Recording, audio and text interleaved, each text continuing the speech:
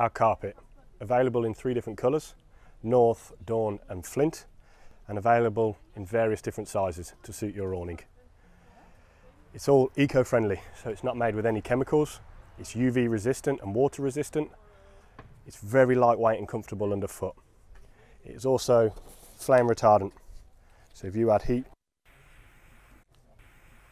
it won't catch light. As well as that, you can cut the carpet in any direction and the carpet won't fray. So you can cut it exactly to the size that you require. Equally, if you get a hole in it for any reason, maybe a stone's got into it, the hole won't get any bigger. Easy to clean, sweep off any dirt when you get inside the awning. And also when you get home, you can clean it with water and give it a good clean.